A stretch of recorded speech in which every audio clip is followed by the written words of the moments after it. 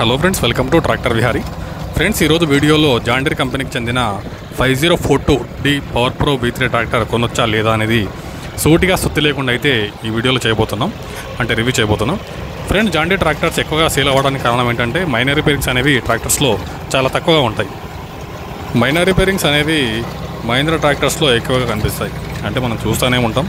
Customers నుంచి feedback కూడా తీసుకున్నప్పుడు వాళ్ళు ఇతర ట్రాక్టర్స్తో పోలిస్తే మహీంద్రాలో మైనర్ రిపేరింగ్స్ ఎక్కువగా ఉన్నాయని చెప్తూ ఉంటారు. మహీంద్రా ట్రాక్టర్స్లో మైనర్ రిపేరింగ్స్ వచ్చిన సేల్ అవడానికి కారణాలు చాలానే ఉంటాయి. అలానే అందులో మెయిన్ కారణం వచ్చేసి రీసేల్ వాల్యూ అనేది మహీంద్రా ట్రాక్టర్స్లో ఎక్కువగా ఉంటుంది. అలానే బ్రాండ్ పేరుపై కూడా మహీంద్రా ట్రాక్టర్స్ ఎక్కువగా సేలింగ్ అవుతుంటాయి.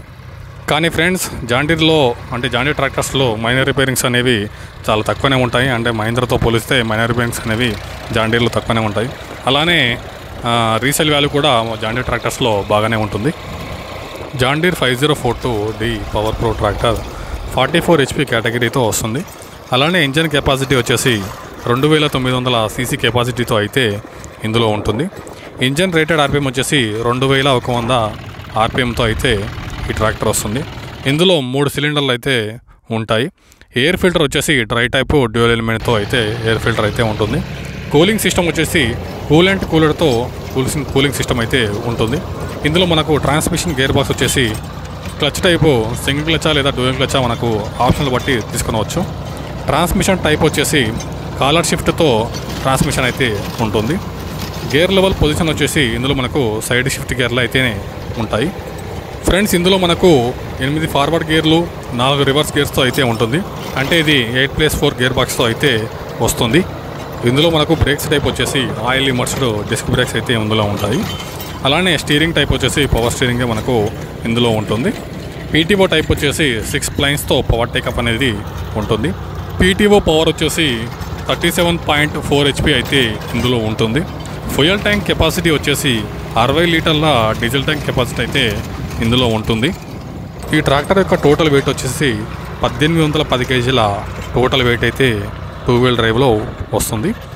ఇందులో మనకు హైడ్రాలిక్స్ లిఫ్టింగ్ కెపాసిటీ వచ్చేసి పదహారు వందల కేజీల హైడ్రాలిక్స్ లిఫ్టింగ్ కెపాసిటీ అయితే ఉంటుంది.